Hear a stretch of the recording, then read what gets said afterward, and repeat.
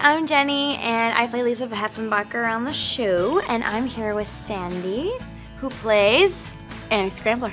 on the show. She's one of the pranksters, and we're gonna ask her some questions. I have a little list right here.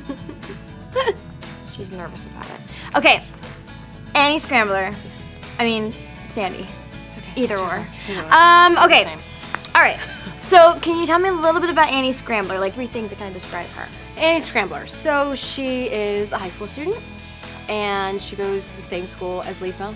And she has a special power, which is stomping. And uh, when she stomps, she can scramble any kind of text that she feels like scrambling to Mm-hmm. Which cause is- a ruckus. Yep, particularly infuriating to Lisa, me. Yeah. Because I unscramble.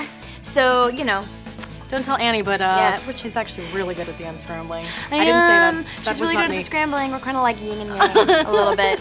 A little bit. Annie Scrambler has the coolest, I think, the most rocking costumes of anybody in the show. Now, Sandie, do you have a favorite as Annie Scrambler? Favorite outfit, particular accessory? Yes, there's two. enjoy? There's a favorite outfit and there is a favorite accessory. okay. But it's an Electrica company, and at the beginning of the episode, I'm wearing a necklace that's a bunch of letters. Yeah. It's like a chunky necklace, and the beads are all a different letter, which I thought, hmm, that's appropriate. Yeah, it doesn't made say anything. It's just a bunch of scrambled letters.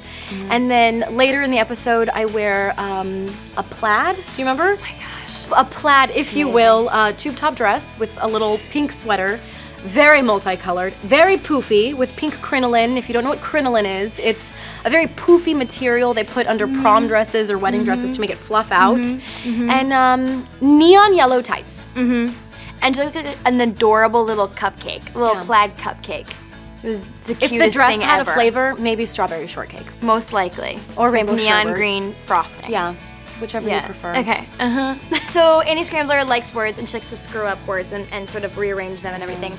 Does Annie have a favorite word and does Sandie have a favorite word? Sandie's favorite word, my favorite word would have to, without a doubt, be snack.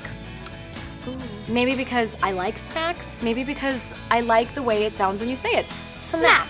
Just, just say it right now. Snack. It's just a fun Snack. word.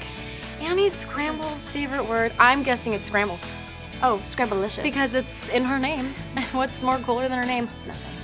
Nothing. Nothing. On the show, we sort of are adversaries, you know, like the pranksters, and especially the two of us. We enjoy that relationship, but like we're super good friends on set. Yes, and she's, Sandie And I'm really Lisa- nice in real life. Yeah, I'm she's not mean super nice. She's so cool. Annie Scrambler and Lisa Heffenbacher kind of are at odds, Yeah. but Jenny and and Jenny are really good friends. we get along. She's pretty cool. So, thanks for watching. Bye.